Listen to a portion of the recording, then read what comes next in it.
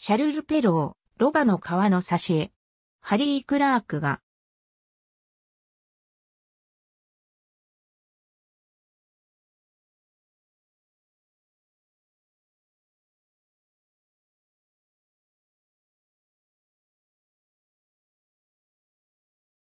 火に先立たれた青の国の王は一人娘に求婚した。文学における近親相関には様々な形があり、三文的な構成のものからあまり成熟していない読者を対象としたものもある。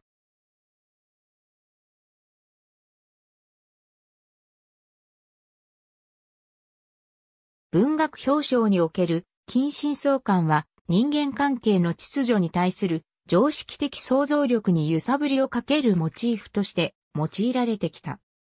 ジョージ・スタイナーによると、兄弟の結合から生まれたもののみが、神々の黄昏と人間の諸行をもたらすことができるという電気的、文学、芸術的な資料は山のようにあり、1780年から1914年まで多くの電気や戯曲小説が近親相関を指し示している。フランスにおいては兄弟姉妹間の欲望を伴う愛や、純粋な優しさという意味の兄弟姉妹間の愛が描かれるのは、19世紀以降の文学において顕著となる。19世紀文学においてはそれ以前の時代よりも、はるかに強く兄弟姉妹間の関係が描かれるようになるが、作家たちの人生においても、兄弟姉妹との親密な愛は、感情生活の大きな要素をなしていた。スタンダールと妹、ポーリーヌ、バルザックと妹、ロール、エルネストルナンと姉、アンリエット、ウジェニー・ドゲランと弟、モーリスなどがその例である。トニー・タナーは、ペリクリーズから文学において描かれる貫通は過度の多弁を引き起こす場合があるのに対し、近親相関は沈黙、発話の抑止になると指摘している。J.M. クッチェーは、ムージルト・ナボコフを例に挙げ、近親相関はかつて文学の大きな主題だったが、今はそうではなさそうだと述べている。その理由は、セックスを疑似的な宗教体験とする概念が無産してしまったからかもしれないと予想している。同意ではない近親者関係、関係性的虐待性的虐待同意ではない、近親者関係関係近親相関は、手塚治虫の騎士など、日本の漫画で繰り返し描かれている。近親相関はまた、日本のアニメの主題でもあり、中でも最も初期のタイトル、クリームレモンにまで遡る。兄弟、指定相関が最も一般的な展開である。日本では、いとこ婚が近親相関だと考えられておらず、実際には望ましいことであったとの説もあるため、いとこ同士の夫婦は非常に一般的である。人気アニメ、天地無用。では、近親相関のいくつかの例があり、これは正常とみなされる。恋風とお願いツインズのような特定のアニメ番組は、彼らの感情や社会的なタブーの苦しみを深く共感を持って研究している。お願いツインズの葛藤は、二人の少女のどちらかが主人公の双子の妹かもしれないことを知っていたにも、かかわらず、彼らが恋に落ちたから発生している。少女漫画の僕は妹に恋をするでは、結城ライト、結城薫の双子の兄弟が親密に近づきお互い恋に落ちるが、その結果に直面する。後に彼らは判決の双子であることが明らかになる。なぜなら、異なる父親による相対妊娠だからである。最後に、ライは彼女の元から10年間離れようとするが、彼とイクが再会したとき、彼はまだ彼女を愛していることを告白し、二人の関係が復活したことを示唆している。ビジュアルノベルアニメのよすがの空では、春日野隆は彼女の双子の兄である春日野優に子供の頃からずっと気持ちを抱いている。彼らの両親が死亡した後、彼らは昔住んでいた家に引っ越すが、隆は彼と一緒に暮らすことを夢見ながら、彼への気持ちを抑えつけている。第11話と第12話で彼らは自分自身の気持ちを解放し、一緒になるために友人や家を断念することに決めた。少女漫画家、ゆきかおりはこのテーマを2回使ったアニメ、漫画のヴァンパイア騎士では純血の吸血鬼が彼らの純粋な血統を保つためにしばしば兄弟婚をする。黒主優姫の両親は兄弟であり、彼女自身も兄であるクルルの妻として生まれた。メイズ爆熱時空では、イカルガモエイと彼女の兄、イカルガメイは若い頃に近親相関をしていたので、彼らの両親から落語者とみなされていた。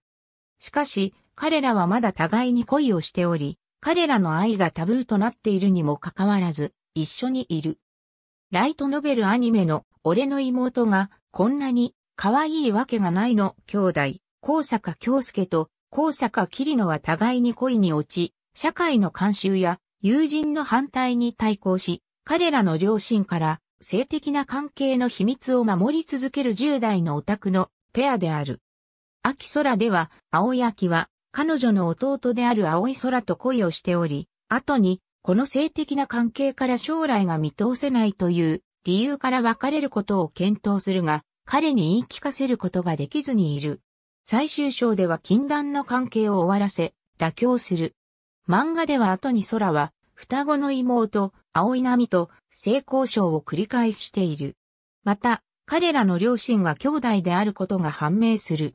風時の歌シリーズでは、ジルベールが叔父だと思われている父親、オーギュストから肉体的、感情的、性的虐待を受ける。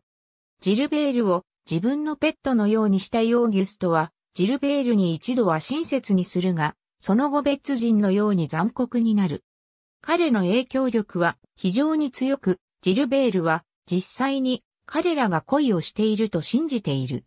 これは最終的にジルベールとセルジュとの関係に悲劇的な結果をもたらす。パッパとキッス・イン・ザ・ダークでは15歳の少年が父親と近親相関関係を持つ。彼は後に少年の叔父であることが明らかになる。最初に近親相関を扱った歌詞の一つは、サイケデリックロックバンドのドアーズのジエンドである。ジム・モリソンの歌では、息子が父親を殺害したいという衝動と母親が欲しいという思いが歌われている。イギリスのミュージシャン、ケイト・ブッシュの1978年のアルバム、天使と小悪魔と同名の歌は、指定における近親相関関係、妊娠、自殺を描いている。ドイツのヘビメタルバンド、ラムシュタインは、プレイウィズミーで、兄弟間の近親相関関係に触れている。プレイウィズミーでは、兄は弟にセックスを強制している。ラムシュタインは他に、スポーンタイムとアニマルで近親相関を描写している。デスメタルバンド、キャンサーは、アルバム、デスシャルライズで、テーストレスインセストという老人が彼の娘や息子を、レイプする歌を収録している。歌詞の後半には、彼の子供たちが、将来彼ら自身の子供をしばしば、性的虐待するであろうことが示唆されている。シアトルのロッカー、パールジャムの、いわゆる、ママさん三部作は、ある男と彼の母親との近親相姦と、その後に続く出来事について語っている。三部作は、 Alive から始まり、エディ・ベダーは、それがある部分は自叙伝である部分はフィクションだと説明している。エディが10代の頃、彼の母親は、彼が父親だと思っている男は、彼の義父で、生物学上の彼の父親はすでに死亡していることを明らかにした。Alive、Once と Footsteps の三部作の最初の作品である Alive は近親相姦を物語 Once で説明した大量殺人につながり最終的に Footsteps で刑務所から帰ってくる。 The Pains of Being Pure at Heart の This Love Is Fucking Right は兄弟間の合意の上でのロマンチックな関係についての歌である。サウスパーク、無修正映画版に登場するって、ランスフィリップの歌、アンクル・ファッカーは、近親相関を告発する。パールジャムのアルバム、10に収録されている歌、アライブでは、個人の父親に似ているという理由で13歳の少年が母親から性的ないたずらを受けている。同様に、ザ・プライズ・ファイター・インフェルノがリリースしたアルバム、My Brother's Blood Machine に収録されている歌、 Our Darling Daughter You Are, Little Cecilia Marie では、父子間の性関係について詳述し、結果的に彼女は父親を殺人未遂した。日本のバンドディル・アングレイの Embryo は母親が死んだ後に父親が娘をレイプしたことについて歌っている。歌の終わりに少女は父親を殺害し、自分が彼の子供を妊娠していることを発見する。シャルロット・ゲンスブールとセルジュ・ゲンスブールの歌、レモン・インセストは、歌とミュージックビデオで父子間の近親相関関係について扱っている。シングルのジャケットのデザインは、半分だけ服を着た父親セルジュと、彼の胸の上に横たわっている娘、シャルロットの写真である。二人の間柄が現実に父子であったことから、この歌が自伝の作品ではないかという疑惑を引き起こしたが、二人はそれを否定し、その歌はフランスで非常に人気があった。ファイアーエムブレム聖戦の系譜では、ロプト教団の大司教、マンフロイは、ベルトマーの貴族、アルビスとディアドラを結婚させることによって、闇のドラゴンロプトースを復活させようとしている。二人は、お互い知らないがロプトゥスの血を引く、半血兄弟であり、彼らの結合がロプトゥスの意識を宿すことができる人間の容器を作る。マンフロイはディアドラの夫、シアルフィのシグルドから彼女を誘拐し、彼女の記憶を消去し、アルビスを操作してディアドラと恋に落ちるようにする。アルビスはマンフロイと同盟を組んでグランベル王国を打倒したが、マンフロイの本当の目的には全く気づかず、シグルドと彼の軍隊を殺害した。アルビスとディオドラは結婚し、最終的にユリウスとユリアという双子を産むが、前者はロプトゥスの容器になった。しかし、ユリアはロプトゥスの血ではなく、ロプトゥスの宿敵であるナーガの血を継承する。数年後、ユリウスは完全にロプトゥスに憑依され、彼の妹を殺そうとするが、ディオドラは自分自身を犠牲にし、ユリアを安全な場所にテレポートさせる。彼女は死の直前に自分の記憶を取り戻す。ユリアは最終的にシグルドとディオドラの息子であり、アルビスとユリウスに対する抵抗軍のリーダーである、判決兄セリスと再会する。ユリアはセリスにロマンチックな感情を抱き始めるが、自分たちが判決兄弟であることに気づくとそれを止める。最終的にセリスはユリアの助けを借りてアルビス、ユリウスとマンフロイを殺害し、彼の両親の死に報いる。ヴァンパイア、ザ・マスカレード・オブ・ラッドラインズの二人の姉妹テレーゼとジャネット・ボーマンが同一人物であることが明らかにされる。テレーゼは本来の性格であり、ジャネットはセックスに執着した性格なので、テレーゼは意識的に彼女の父親から繰り返し性的虐待を経験しなかった。ある日、彼女らの父親は、テレーゼが依然として、彼女の体をコントロールしていた時に、彼女を拘束し、彼女は、ショットガンで彼を殺害して、保護施設に送られる。そこで、マルカビアンは彼女を、吸血鬼に変える。その結果生じる超自然的な精神病は、彼女の性格の分裂を悪化させ、それぞれ冷静で抑圧されたテレーゼと過度に性的衝動が強く、境界性パーソナリティ障害を抱える、ジャネットに完全に分裂する。